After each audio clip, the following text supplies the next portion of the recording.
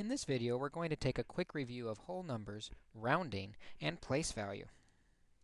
Let's start with talking about place value using this number 2 million I'm sorry, 2 billion 197 million 430,568. Each one of these digits has a name for its place value.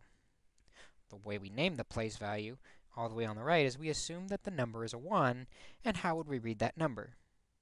Well, if there was a 1 here where this first number goes, we would call, just read that as 1. We call this the ones place. If there was a 1 for the second digit and a 0 after that, we would read that as the number 10, so we call that the tens place. Similarly, if we had a 1 for the third digit with zeros after that, we would read that as 100, and we call this the hundreds place.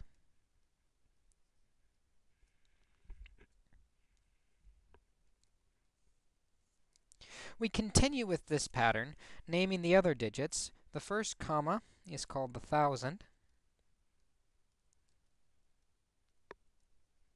And then we keep counting up with tens and hundreds from there. We've got the ten thousands,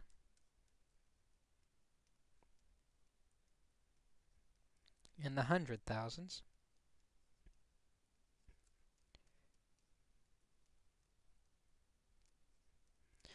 And then the next comma we also give a name to. This one we call the millions.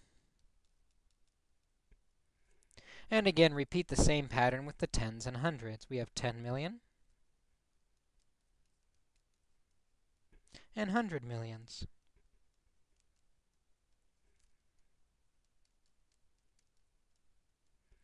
And then the next comma also has a name. It is called the billions, and we can keep going with this pattern with 10 billion and 100 billion and off to the million or the trillions. When we're looking at rounding to one of these place values, what we do is we look at the next digit. And if the next digit after it is a 0 through 4, 0, 1, 2, 3, or 4, we will round the number down. And if the next digit is a 5 through 9, we will round the number up. So let's take a look at a couple examples where we're asked to do some rounding to certain place values. In this first example, we're asked to round 1,246,846,524 to the ten thousands place. First, I'll look at the thousands comma, and then find the ten thousands. This 4 is what we're rounding to.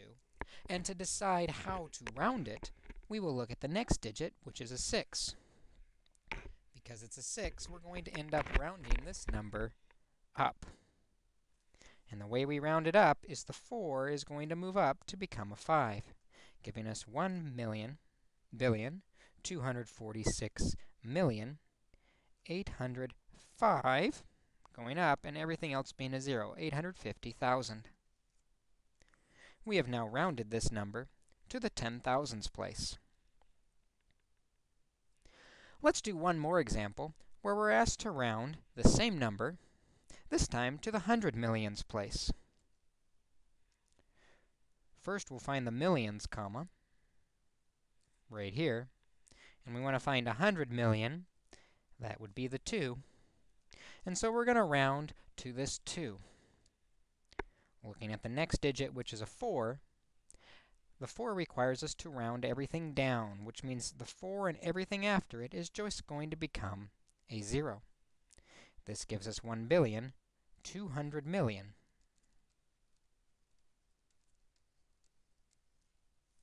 And we have now rounded our number to the hundred millions place. If we can keep in mind our place values off of our place value chart, and the rounding to the next digit 0 through 4 being down and 5 through 9 being up, we can quickly round any number.